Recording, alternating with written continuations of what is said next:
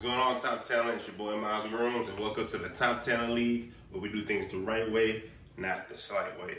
Today, we're going to talk about perseverance and pushing through when you are tired. I am so tired right now, but I made a commitment to get this stuff done, and we're going to talk about a couple ways to, to push through when you are tired. But before we get started, please remember to subscribe, like, and comment to this channel. All the feedback and support you guys are giving me it's been tremendous. I don't know what else to say, but just thank you. But we will continue to grow, we continue to push, and we get better and better to our talents at the top. So again, today we're talking about how to push through when you're tired. And oh my goodness, I ain't gonna hold you right now. Your boy is tired. But I made a commitment to say I'm gonna do these YouTube videos because I need to stand here. It's a um, it's a, a symbol of perseverance, of being able to push through things, of being able to just commit to my word, right? Be a man of my word. And um, it's not easy. It's a daily discipline that you have to build to be committed to um, doing things even when you are tired. But uh, a couple things that's been able to help me recently is understanding why I'm doing what I'm doing, right? Not so much caught up in my emotions of what's going on right now, but where am I trying to go? What is my end goal? If you have a plan of like, you know, if I do A plus B equals C, and you know what C looks like, it's not so hard to do A and B.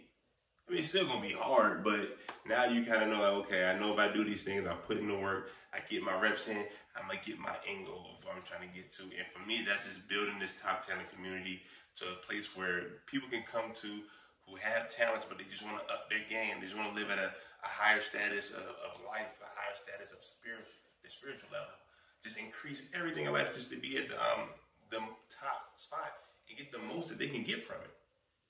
But to be able to do that, you have to be around like-minded people. You have to have good disciplines. You gotta have good boundaries, right? But that's number one. Number two is like I said, having good people around you.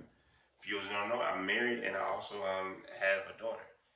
Seeing them makes me push. They they push me because now um, it takes the laziness, the that I have out of me. Because it, it, ain't about me, right? I want to be able to provide and give them my lifestyle um, that they deserve. Matter of fact, it's the best one that I can provide them, God willing. And um, to be able to do that, I have to do things even when I'm tired, no matter how I feel.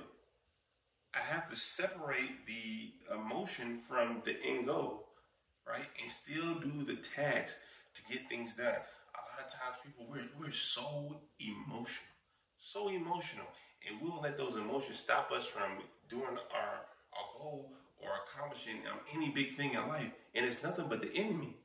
It's just the enemy trying to stop you. Every time you get super emotional, you're super tired. You're like, man, I'm not gonna do that. I'm gonna put that on to another day. Man, it's okay, cool. I'll, I'll try that again next week. And it's the enemy stopping you from getting closer and closer to accomplishing your goal because he knows you're close. He knows you're close.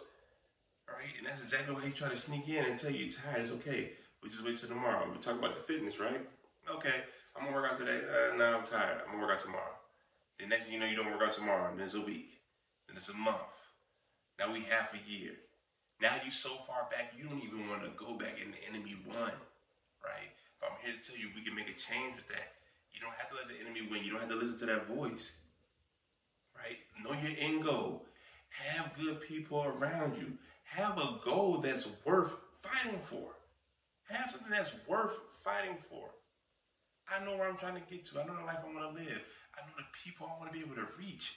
I understand that I have to be there for them. I have to set the example. I gotta put my feet to the pavement. I can't sit back on the sidelines anymore. You guys know I've been wanting to start a YouTube channel. The enemy has been on me crazy. I'm tired. He wants me to miss days. He wants me not to record. I'm not gonna let them win. Right? I'm setting those principles. I my end goal. My end goal is big. I want to talk to millions of people. Right? I want millions of people to be in front of me and get a word from me. And not only from me, from each other. The community is just up here. I want my family to be able to get a good word from me, see me stand on my principles and morals, and just be the man that they need me to be.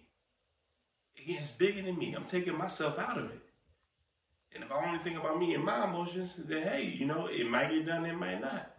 And that's not a way to live life. So top talent again, today I just want you guys to be able to push through. I want you to take one thing from this video. If you don't take anything, find the end goal that's worth fighting for. Find something that no matter what, no matter how tired, sad, angry, even happy, whatever you're feeling, that end goal is so big that you will find a way to see it through and get it done. You're not gonna let nobody stop you. You're top talent. You know what you gotta do and you know how to rise up for the occasion. Until next time, top talent.